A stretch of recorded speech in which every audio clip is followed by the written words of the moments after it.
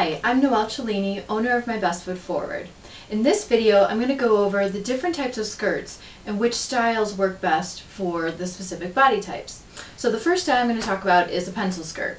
And a pencil skirt means that it comes in and hugs the body, which is what I'm wearing here. So that means that it can either show off your curves, which is what I'm looking to do since I'm an hourglass. I do have defined shoulders, a waist, and I do have hips, or you can wear a pencil skirt if you're looking to give your body curves. So somebody like a rectangle who's straight up and down would benefit from a pencil skirt because it would give them curves that they don't naturally have.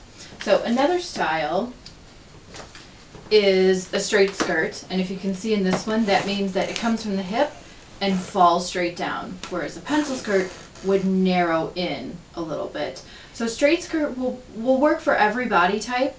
However, it's not really the best for a rectangle because it makes them look more rectangular, more straight up and down. So they want to look for something kind of the opposite of their body shape, but this would work well for every body type.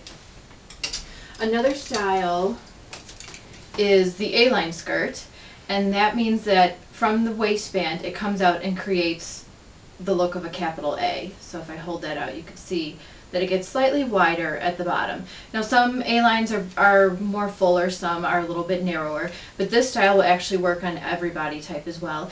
And it works nice for concealing hips and thighs, so that's a, a good positive thing to look for. And then I'm going to show you what it looks like on a body. So I have Judy here in her A-line skirt, and if you can see just kind of a gentle a gentle A just lightly comes out. Straight skirt falls straight down. A pencil skirt narrows in. So this creates a nice, a little bit fluidity and a, little bit of femininity for Judy's body type, which is rectangular. So we kind of counter counteract that with a skirt that gives her, you know, some nice curves and some movement. So thank you for that. Another style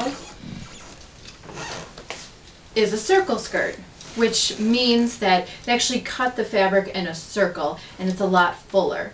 This would be a skirt that you could, you know, twirl and dance around in. And this would be good on somebody who's looking to give their body, you know, some more fullness. Somebody like an apple who has broad shoulders, this will help balance out broad shoulders. Somebody like a rectangle, again, this will give them some feminine curves, some movement because they're very straight up and down this skirt looks horrible on me because it's too much too much volume. I'm looking for something much more tailored and more fitted.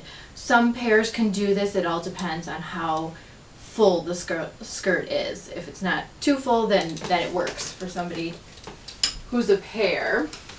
And lastly, I want to show, this is a straight skirt, but with a peplum hem. So there's a little bit of a flounce at the bottom.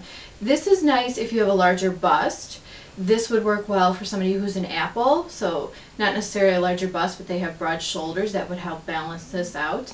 This would work well on an hourglass on my shape because it's still fitted in through here, and then we just get a little bit, you know, of um, of flare out at the bottom. And it would also work well for rectangle because even though it's straight, again, it, we still get that, you know, femininity at the bottom with the um, flounce that's going on. So hopefully that will give you some guidelines as to what to look for. A-line will work on every body type. Straight will, it's not the best for a rectangle. And then look for a pencil if you're looking to add some curves.